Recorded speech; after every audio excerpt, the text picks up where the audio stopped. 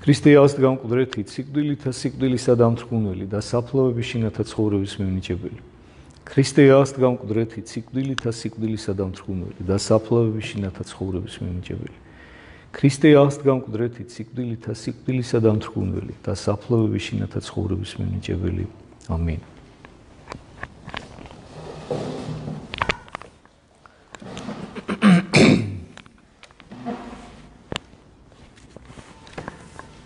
მოგესალმებით ძვირფასო Facebook მაყურებლებო. მე მინდა ესე წინასწარვე დავაანონსო უკვე რომ აა იქიდან გამომდინარე რომ რეგულაციები უკვე შემსუბუქდა აი ამ საგანგებო მდგომარეობა რომ მოიხსნა ჩვენ შემდეგი შეხვედრიდან უკვე განვაახლებთ ცოცხალ ურთიერთობებს, ცოცხალ ლექციებს, ოღონდ რა თქმა უნდა ვეცდებით, რა თქმა უნდა, დავიცვათ კვლავ ის კანონი და ის რეგულაციები, რომ თქვათ არ იყოს 10 ადამიანზე მეტი შეკრებილი ჩვენ ჩვენი აუდიტორია გვაძლევს საშუალებას ზომებით, რომ თქვათ ყველანი ისხდნენ ჩვეულებრივად იმ დისტანციის დაცვით, რომელიც არის გათვალისწინებული კანონით და ამიტომ თქვათ შემდეგ შეხვედრაზე უკვე შეგვიძლია რომ ცოცხალი ურთიერთობა განვაახლოთ, ანუ აღარ იქნება ეს მხოლოდ ონლაინ ლექციები. რაც შეეხება დღევანდელ დღეს და დღევანდელ ჩვენ სასაუბრო თემას, დღეს ჩვენ გვაქვს сахарების დღე.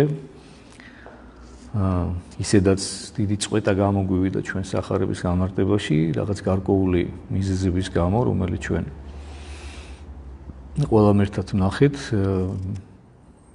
და მოდი განვაგრძოთ კვლავ сахарება.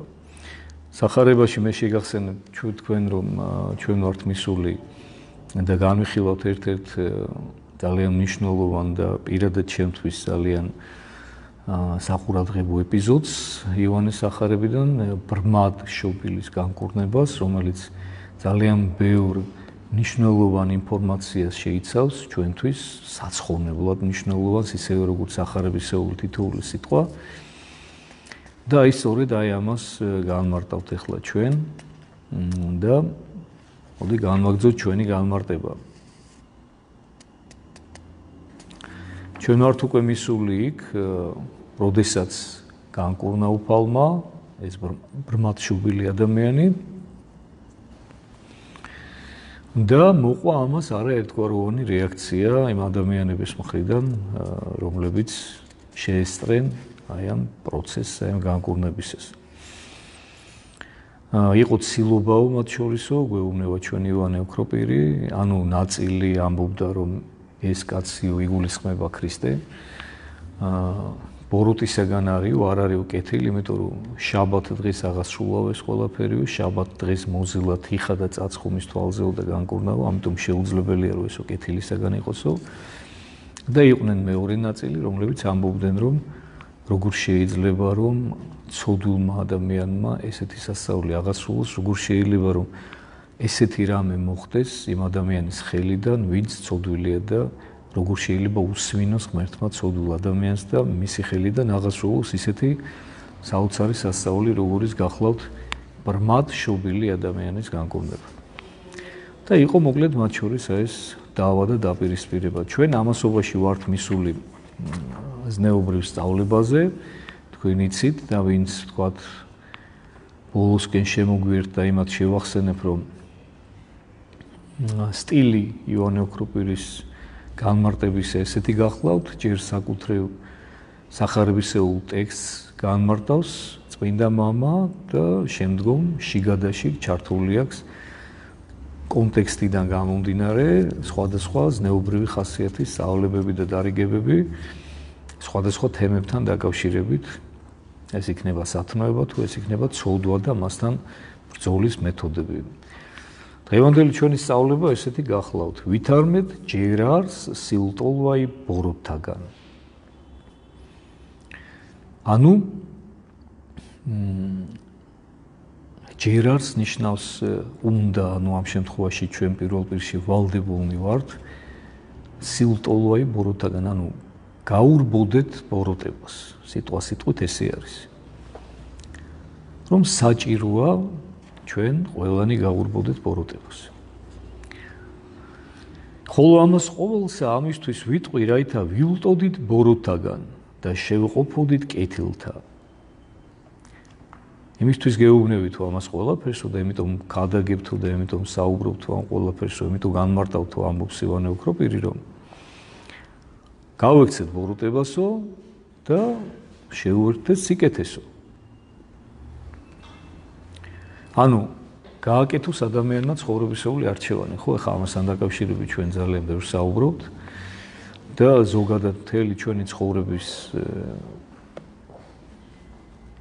მიზანი სწორედ ეს გახლავთ, რომ ადამიანმა გააკეთოს ცხოვრებისეული ცხოვრებისეული არჩევანი სიკეთესა და ბოროტებას შორის, გააკეთოს რასაკვირველია სიკეთის მიმართულებით ეს არჩევანი და შემდეგ უერთგულოს ამას უკვე მთელი ცხოვრების განმავლობაში და შესაბამისად თუ კი შენ სიკეთისკენ აკეთებ არჩევას, რასაკვირველია, აუცილებლად უნდა თქვა უარი ბოროტებაზე და გაექცე ბოროტებას, უნდა დაუპირისპირდე საკუთარ თავში ყოველნაირ გამოვლინებას ბოროტებისას, ცოდვას და ესტრაფოდე სათნოებას.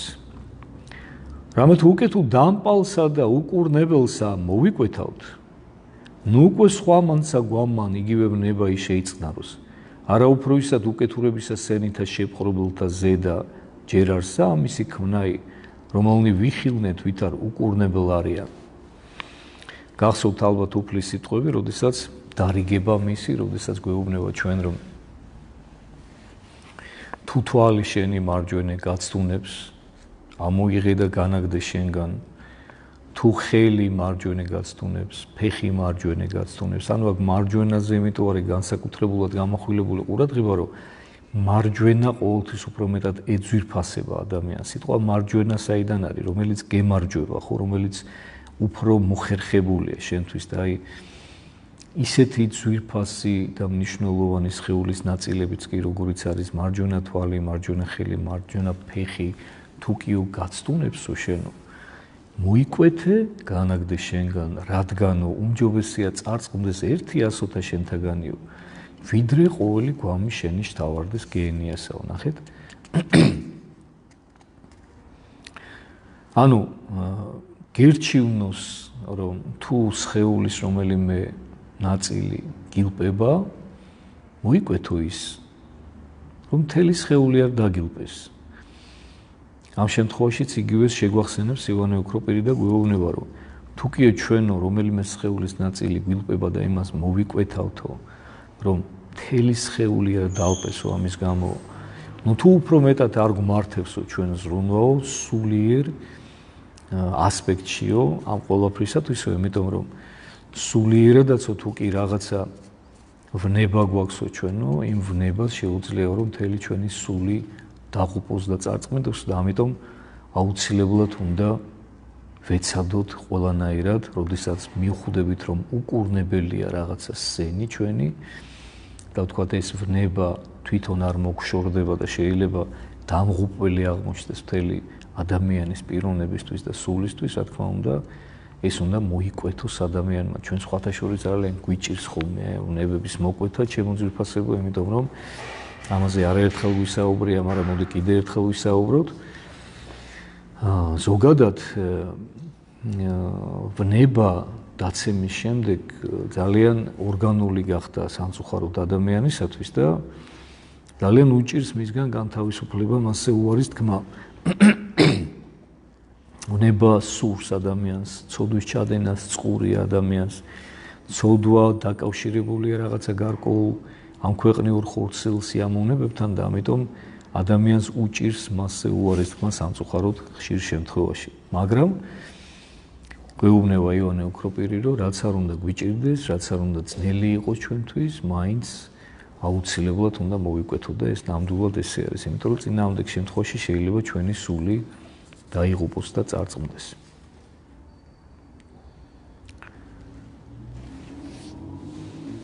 რამე თუ უკეთუ ძალ გვედვას მათიცა განმართებაი და ჩვენი არავნებაი კეთილარს ესე და თანაგვაც ამისი ქმნაი უკეთუ კულაიგინი იყვნენ უკურნებელ და მოუდრეკელ და ჩვენ გვავნებდნენ კეთილარს მაშინ მოკვეთაი მათი ჩვენგან და მრავალგზის ამით საქმითა უფრო ისად ერგის მათ. ამისთვის სამოციქული იტყო და ვითარმედ აღმოფხვართ უკეთურებაი თქვენგან. და კვალად ვითარმედ რაით აღმოიფხრას თქვენგან რომელმან ესე საქმე ჰქმნა. შესაძლებელი რომ იყოსო იმ უკეთურების გამოსწორებაო საკუთარ თავშიო. ისეო რომ ჩვენც არაფერი არ გვევნოსო კარგი იქნებოდა მაგრამ როდესაც ხედავთ რომ შეუძლებელიაო მასთან ერთად თანაცხოვრებაო ისეო რომ ჩვენ არაფერი გვევნოსო ვალდებულნი ვართ მაშინ რომ მოვიკვეთოთო და მოციქული სიტყვებიც მოიყვანა დასტურად ივანე ოქროპირმა რამე თუ ბოროტარს ბოროტთა თანა ერთობაი.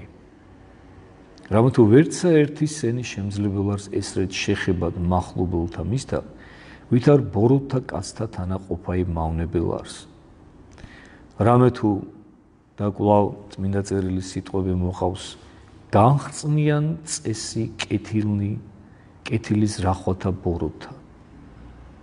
ნუნცამის აქვს მეგობარი ბოროტი.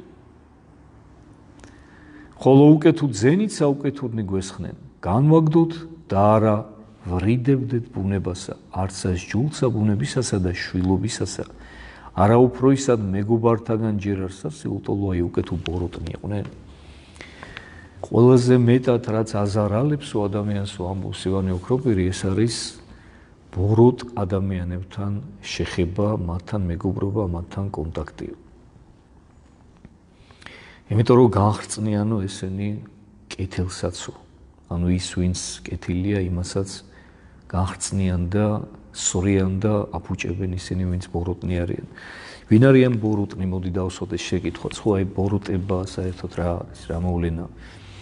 ჩვენ პავლე მოციქული გვეუბნება რომ ჩვენ არ ყავს ხილული მტრები, ჩვენ ადამიანები არ ყავს მტრებია. ჩვენ არ ვებძვით ხილულ ხორცსა და სისხლსო, ჩვენი ბრძოლა არისო იშმაგის დაცემული ანგელოზების მიმართ. ანუ ბუნებითად ბოროტი მას შემდეგ რაც დაეცა და მიიდრიკა, განიდრიკა ღვთისაგან არის ეშმაკი, ხო? ანუ ეშმაკის დაცემული ანგელოზები. რაც შეეხება ადამიანებს, ადამიანები მხოლოდ პირობითად შეიძლება ჩაითვალონ ბოროტებად ჩვენთვის თუ კი მათ არჩეული აქვთ ეს გზა მაგრამ იქიდან გამომდინარე რომ ნებისმიერ ადამიანს სიცოცხლის უკანასკნელ წამამდე რჩება შესაძლებლობა იმისა რომ მან შეინანოს და გამოასწოროს თავისი ცხოვრება ამიტომ ცალსახად არ შეიძლება რომელიმე ადამიანზე თქმა იმისა რომ ეს არის ბოროტი იმიტომ რომ ჩვენ მას განაჩენს ვერ გამოუტან შეიძლება ხვალზე ღმერთმა თავისი გასმოყარებით და მისთვის მხოლოდ ცნობილი გზებით შეიძლება ისე შეეხოს ამ ადამიანის გულს, რომ ის ადამიანი წმინდანადაც იქცეს და ესეთი ბევრი მაგალითი ახსოვს ეკლესიას. ამიტომ ადამიანებთან მიმართებაში უნდა ვიყოთ ყოველთვის ძალიან დიდი სიფრთხილით, როდესაც ჩვენ მათ რაღაც სახელებს ვარქმევთ, რომ თქვა ვიღაცა ბოროტია თუ ვიღაც კეთილია, პირიქითაც შემიძლია გითხრათ, რომ ის ვინც ჩვენ რაღაცა სული და ხორცით კეთილი გონია, შეიძლება აღმოჩნდეს პირიქით ძალიან ნეგატიური და უარყოფითი ადამიანი საბოლოო ჯამში და თავისი ცხოვრებისეული არჩევანი, თქვა იმ დროს, როდესაც ეს ყველაზე მნიშვნელოვანია, სიცოცხლის ბოლოს მან გააკეთოს სპორტებისკენ. ამიტომ ამიტომაც არ უნდა განვიკითხოთ არასოდეს არავინ. უბრალოდ ამ შემთხვევაში გვეუბნება ივანე ოქროპირი რომ თუ კი ხედავ შენ რომ ადამიანი დღეს სპორტებას ჩადის სპორტებისკენ არის მიდრეკილი მისი ნება განეშორე მისგან და შემდეგ ესეთი მძაფრი მაგალითიც მოიყვანა მან რომ შვილი რომ შვილიაო და ოჯახის წევრი რომ ოჯახის წევრიაო როდესაც ხედავთ რომ ისო ბოროტების გზას ირჩევსო და თქვა იქიდან არაპირებს შენანებას და უკან მოტრიალებასო ხშირად თუ ესეთ შვილსაც კი სახლიდან აგდებს მშობელიო და მოიკვეთავსო მასო და მით უმეტეს უფრო მნიშვნელოვანია და საჭიროა ჩვენთვისო.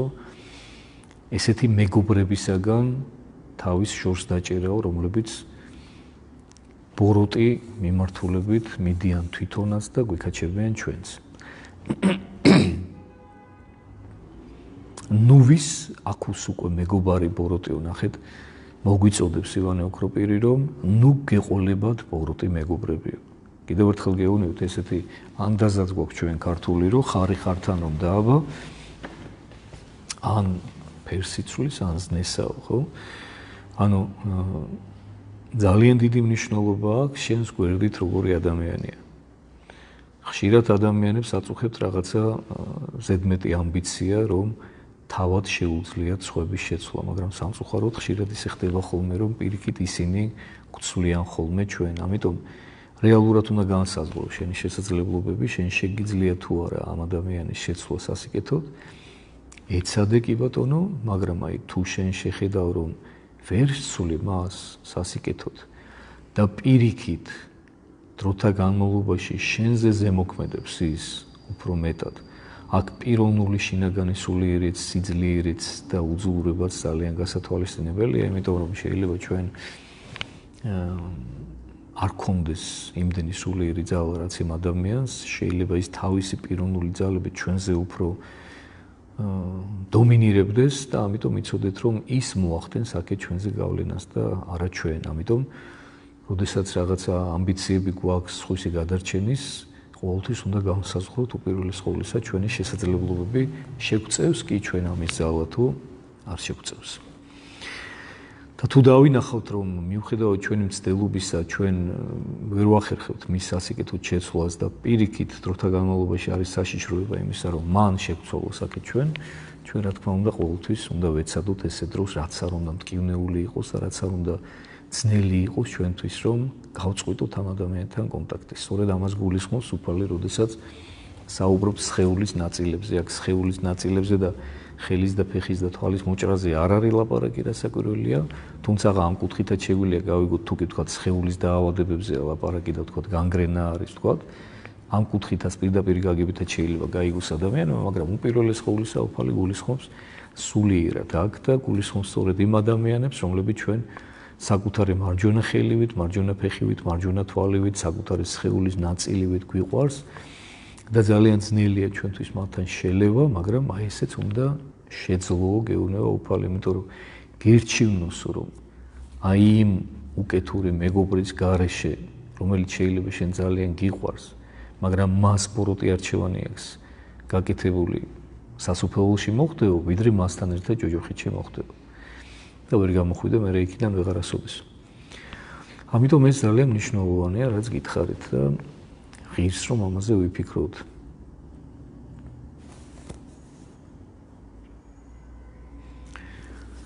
რამე თუ რაღაცა თუ ერთიცავ ნებაი არა შემოგვეხოს მათგან, არამედ ბოროტსა იჭსა ვერ განვერნეთ.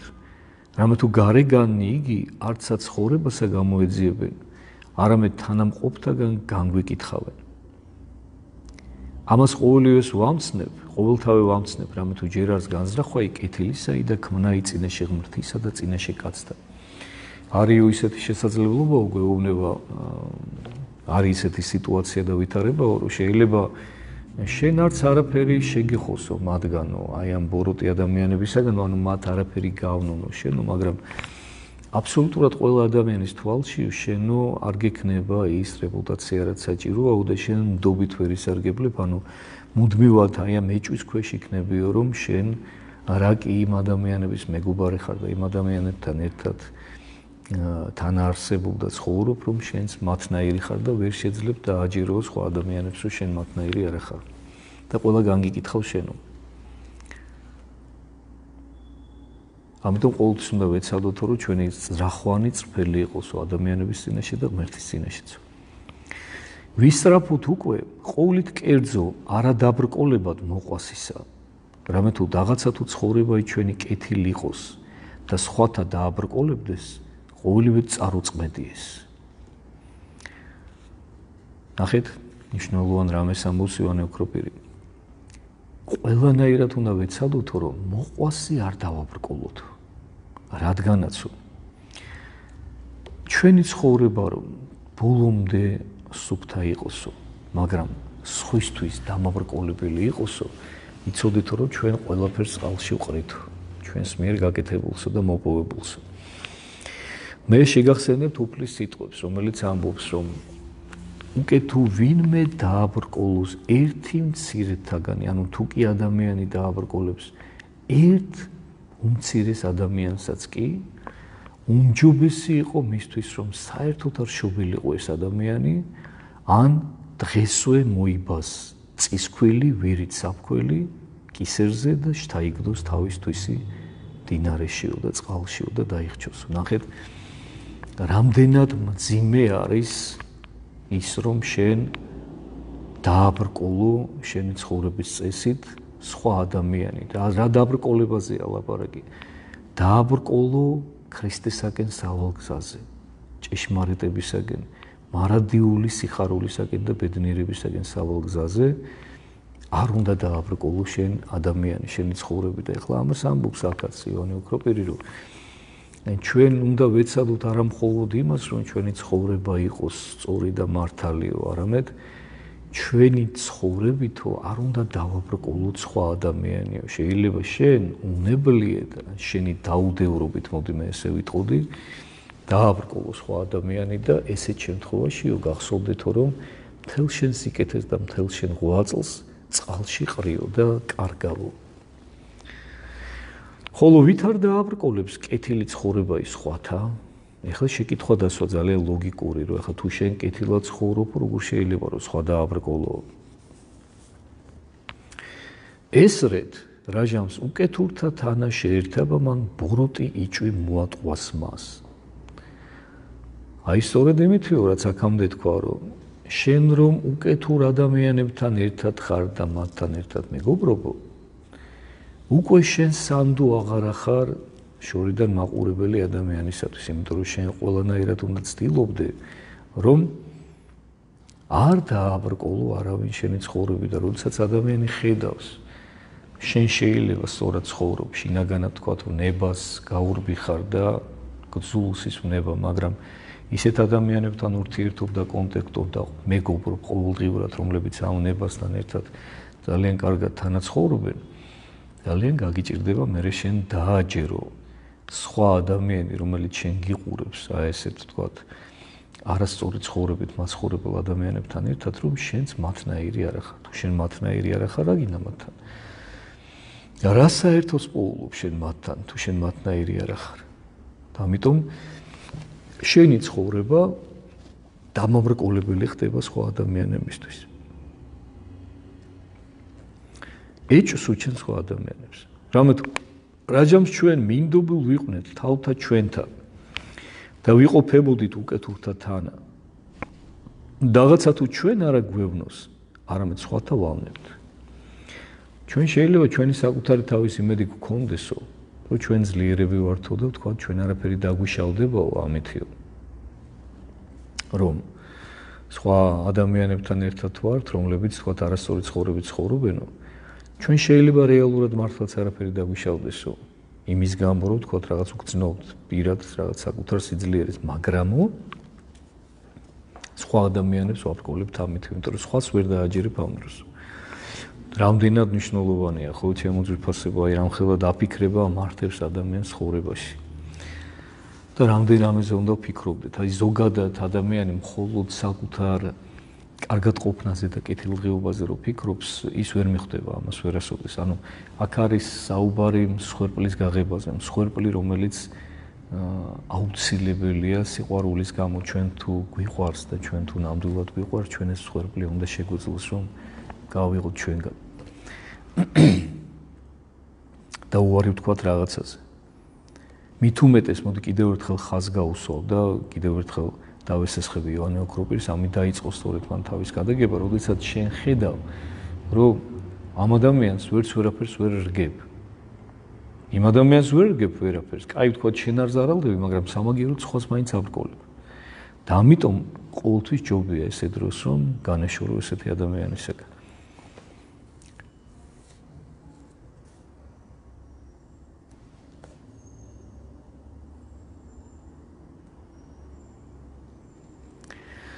ამას ყოველთა ვეტყვი, რაითა გულისხმავთ, თუ რაზომი ბოროტი იშვების ამის საქმისაგან.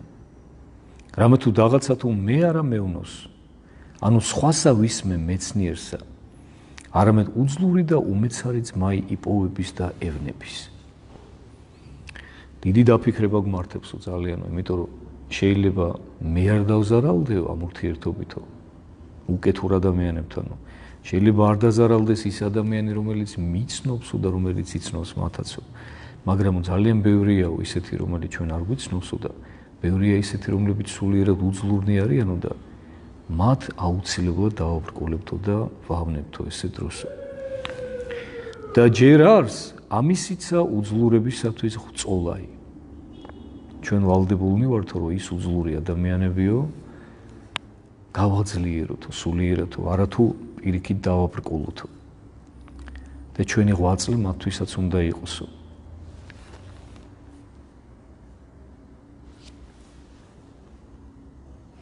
დაღაცა თუ ქრისტიანეს არ აევნოს, არამედ წარმართმან იხილოს და ევნოს.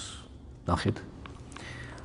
ანუ არამხოლოდ ქრისტიანებზე უნდა ვფიქრობდეთ ჩვენო. შეიძლება ქრისტიანმა ეს ყველაფერი სწორად გადახარშოსო და მას არ ევნოსო არაფერიო, მაგრამ აი წარმართი კი დაზარალდებაო. ანუ წარმართს გულისხმობს, რა თქმა უნდა, ივანე ოქროპირი ადამიანს, რომელიც სწორი ცხოვრებისეული ღირებულებებით არ ცხოვრობს, ჩვენ დღევანდელ დღესაც თქვა თუ კი ადრე ივანე ოქროპირის პერიოდში მეოთხე საუკუნეში წარმართებად იწოდებოდნენ აა კეპთაყვანისმცემელი ადამიანები, ანუ ადამიანები, რომლებიც ჭეშმარიტ ღმერთს არ აღიარებდნენ არამედ სხვა ღმერთები ყავდათ, ასე ვთქვათ მათ. დღევანდელი გაგებით წარმართი შეიძლება ჩვენ უწოდოთ ყველა ადამიანს, ვინც არ ცხოვრობს სწორი ცხოვრების წესით ჩვენ კირფთაყვანისმცემლობის შესახებ ვისაუბრეთ, როდესაც განმარტავდით მეორე მცნებას და მაშინ ჩვენ თქვით, რომ აბსოლუტურად ნებისმიერი ცოდვა, ნებისმიერი ვნება, რომელსაც ადამიანი არ ებრძვის და არ ცდილობს, რომ მოიშოროს და მოიკვეთოს საკუთარი თავიდან, ეს მისი კირპია და ის მას ეთაყვანება. ანუ ჩვეულებრივად შეგვიძლია გავიყვანოთ ესეთი ადამიანი წარმართების სიაში. ამიტომ გვეუბნება იონე ოქროპირი რომ შეიძლება ქრისტიანი ანუ ის ადამიანი რომელიც სულიერად თვითონაც მყარად არის და ძლიერად არის არ დაბრკოლდეს თქვა ამ შენის აქციელი, მაგრამ სამაგიერო დაბრკოლდეს ის ვინც ჯერ პროზელიტია, ჯერ სულაც წარმართია და ამიტომ შენ როდესაც ის გიყურებს იმ საკრებულოში და იმ ადამიანებთან ერთად აუცილებლად დაბრკოლდება ის ადამიანი და აუცილებლად მიგათვლის იმ ადამიანებს შენს. ხოლო მოციქული იტყვის ვითარმედ დაუბრკოლებელ ვიყვნეთ ხურიათაცა მიმართ და წარმართა. პავლე მოციქული გვეუბნება კორინთელთა მიმართ ეპისტოლეში, რომ ჩვენი ცხოვრება არ უნდა აბრკოლებდეს არც მორწმუნესო და არც ურწმუნოსო. ანუ პავლე გულისხმობს ხურიას და წარმას და ნუ ჩვენ შემთხვევაში შეგვიძლია ესე გადმოვიტანოთ, ესე გადმოვთარგმნოთ. არც მორწმუნისთვის და არც ურწმუნოსთვის ჩვენი ცხოვრება დამობრკოლებელი არ უნდა იყოს. პირიქით, ორივესთვის უნდა იყოს ქადაგებლური ჩვენი ცხოვრება. და ეს რე ჯერ არს, რაითა განვაგნეთ თავნი ჩვენი. რაითა არც აუწმუნოთაგანსა ვისმე აქონდეს ჩვენზე და სიტყვა ივნებისაი და ვითარცა კეთილის მოქმედნი ადიდებენ ღმერთსა ცხოვრებითა მათითა ეგრეთვე. რომელთა არა აქონდეს ცხოვრებაი ჯეროვანი გამობადეს სემენ სახელსა ღმრთისასა ამიტომაცო ისე უნდა განვაგოთო ჩვენი ცხოვრებაო რომ უწმუნოთათვისაც ანუ იმ ადამიანებისთვისაც ვინც არ ცხოვრობენ ქრისტიანული ეკლესიური ცხოვრებით, ჯერჯერობით, არ უნდა იყოს დამაბრკოლებელი ჩვენი ცხოვრება, იმიტომ რომ ადამიანია როგორც თავისი კეთილი და სწორი ცხოვრებითო განადიდებს ღმერთსო და ხადაგებს ის თავისი ცხოვრების წესით სხვა ადამიანთა წინაშე, ზუსტად ანალოგიურადო თავისი არასწორი და ბოროტი ცხოვრების წესითო დააბრკოლებსო ის სხვა ადამიანებსო და ამიტომ ეს ძალიან სასჯელად შეიძლება ექცეს მას უკვე ღვთის წინაშე. არამედ ნუ იყოფინ. რაითამცა ესე ვითარი ვინ იყო ჩვენგანი. ნუ იქნება ჩვენგან ნურავინ ესეთიო. გარნა ესრეთ ვისტრაფოთ. გამობრწყინებად საქმეთა ჩვენთა, რაითა იდიდოს მამაი ჩვენი ზეცათაი.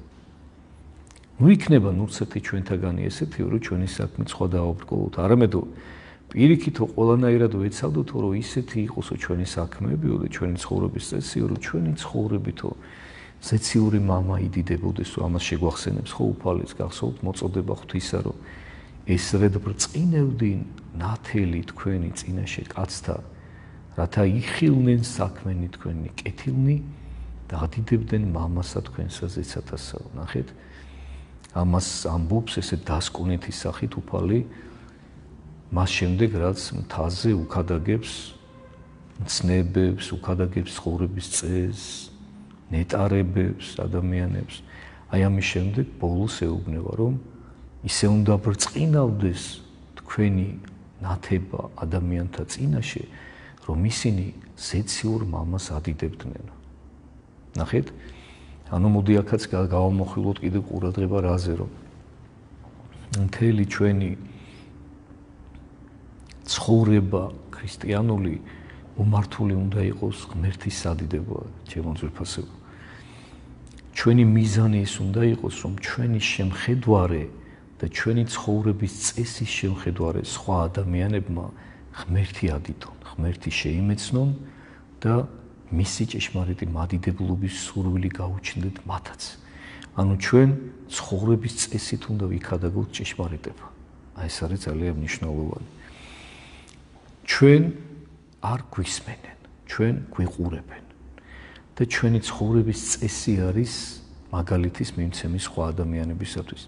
თუ კი ადამიანი საუბრობს ერთს, მაგრამ არ არის თვითონ იმ ცხოვრების წესის აღმსრულებელი, რასაც საუბრობს, რასაც სხვას უხადაგებს, ესეთი ადამიანის სიტყვას ძალა არ აქვს და ესეთი ადამიანი დააბრკოლებს სხვა ადამიანს და ესეთი ადამიანი იმ ადამიანებსაც უკარგავს ფასს ვინც იგივე სიტყვას ქადაგებენ, მაგრამ აღასრულებენ, იმიტომ რომ როდესაც ერთი დაინახავს, რომ როდესაც საზოგადოება დაინახავს, რომ შენ ეკლესიის წარმომადგენელი ხარ, მაგალითად სასულიერო პირი ხარ და თქვა ქადაგებ რაღაცას, უკადაგებ სხვას, ასწავლე, მაგრამ შენ თვითონ არ ხარ იმ ყოველფრის აღმასრულებელი. ძალიან ცუდ სამსახურს უწევ ამით მთელ ეკლესიას, იმიტომ რომ შემდეგ უკვე ადამიანი ის ადამიანი, ვინც შინგან მოისმენა პირველად ეს სიტყვა, სხვა ადამიანსაც აღარ მოусმენს, რომელიც უკვე ჭეშმარიტი მქადაგებელი იქნება და დამაბრკოლებელი აღმოჩნდება მისთვის. რათა იდიდოს მამაი ჩვენი ზეცათაი და მის მიერ დიდება იმოვიღოთ. აი, როდესაც ჩვენ ჩვენი ცხოვრებით ვადიდებთ ზეციურ მამასო, მხოლოდ მაშინ მივიღებთ უკვე ჩვენს განგვადიდებსო მამაო მერე უკვე რომელსა ღირსა ვართ ყოველნი მიმთხოვოთ მადლითა და კაცთმოყარებითა უფლისა ჩვენისა იესო ქრისტესითა რომლისა მიერ და რომლისა თანა მამასა ჩვენის დიდება. სული წმინდითურთ აცდა მარადის და უკუნით უკუნისამდე ამინ. ანუ რომ შევაჯამოთ ჩვენი დღევანდელი კადაგება დღევანდელი უკეთრო ვთქვა ივანე ოქროპირის გადაგება, რომელსაც ჩვენ ესე თანამედროვე ენაზე თარგმნით, ასე ვთქვა და ჩვენთვის გასაგებად გადმოგვაქვს და ვცდილობთ რომ გავიარო, გავიაზროთ და გავისიგძე განოთ. დღევანდელი გადაგება ეძღვნებოდა იმას, რომ უნდა ვეცადოთ ყველანაირად, რომ ჩვენი ცხოვრების წესი იყოს შესაბამისი ჩვენი სიტყვებისა, რომელსაც გადაგებთ.